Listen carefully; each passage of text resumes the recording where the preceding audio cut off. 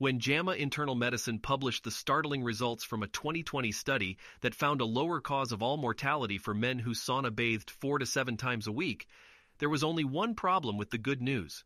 Where were the women?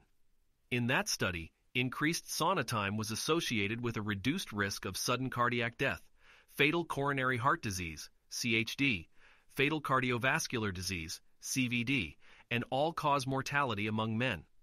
The study time included more than 14 years of follow-up. As with men, women who enjoyed the most time in the sauna, three to seven times per week, were much less likely to experience fatal CVD events. Furthermore, our recent research evidence suggests that a combination of regular physical fitness and sauna baths is associated with a substantial reduction in the risk of fatal cardiovascular and all-cause mortality events compared with each modality alone.